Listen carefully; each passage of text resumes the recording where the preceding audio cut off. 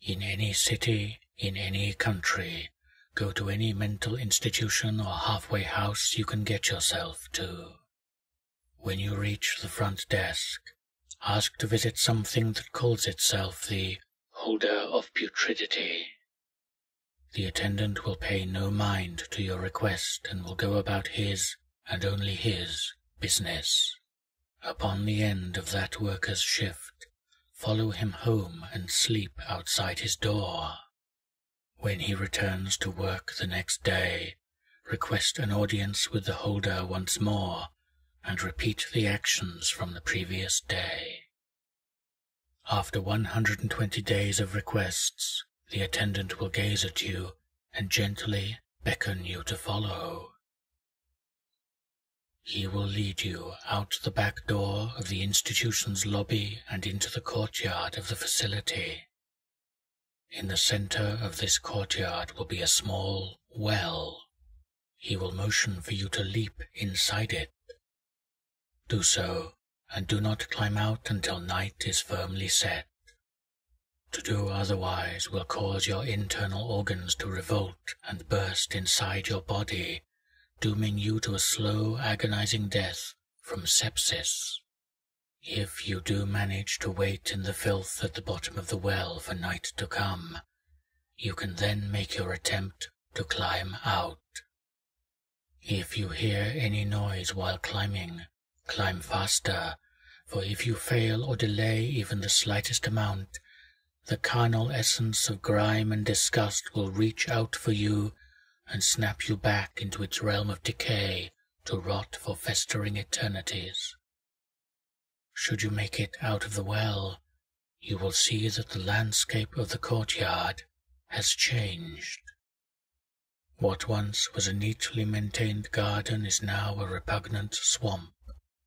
As you step out of the corroded stone surface of the well, you'll plunge thigh deep into sickly black waters periodically bubbling and bursting with an abominable stench of infinite sickness. A glance around will show that you are encased by an impossibly dense ring of coniferous trees, restricting you to this small circle of horrific filth and disgust.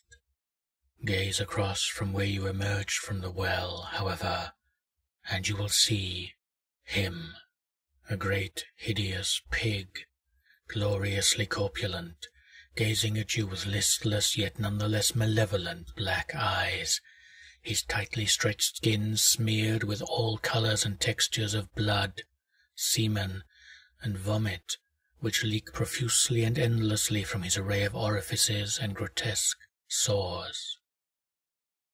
Step up to the porcine abomination and gaze not too long at the perpetually running fluids that emit from his girth, or they may run together to form a picture of diseases and plagues unimaginable to a mere mortal such as yourself. Instead, gaze directly into his beady, pitch-black eyes and ask a single question. How will they infect this world?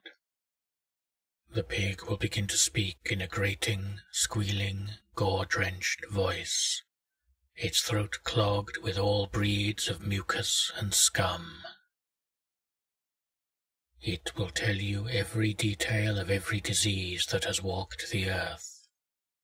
You will learn the intricacies of the cellular structure of the Ebola virus, the Black Plague, acquired immune deficiency syndrome, and every other great and small infection that has cursed creatures throughout the ages.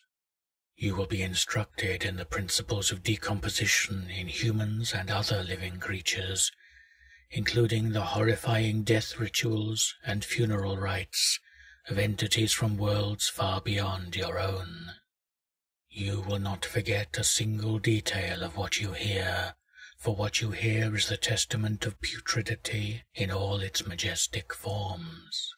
And you will learn of the greatest of them all, an infection which will sweep across the earth very soon, bringing a fate infinitely worse than death to all the denizens of the world. If you do not go irrevocably and instantaneously insane from hearing its name alone, you may be able to proceed. Upon the end of the pig's litany of plagues, he will ever so slowly heave his girth to face you directly.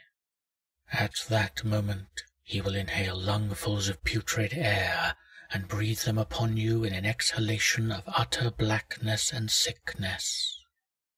You must breathe deeply of these heinous winds, or the creature before you will not hesitate to devour you, as his hunger is vast and insatiable. If you breathe without hesitation, you will feel yourself fall back into the well of the institution from whence you came, and if you have the strength, you may climb out and continue your journey. But upon finally coming back to your world, your body will be racked with sputtering coughs, and your skin will split and crack with all manners of sores, letting pus and grime run freely across you, and your very soul will seem to turn as black as the cunt of a syphilitic whore. This disease you now carry is Object 190 or 538. Should you bring them together, perhaps this plague will leave you, but at what cost?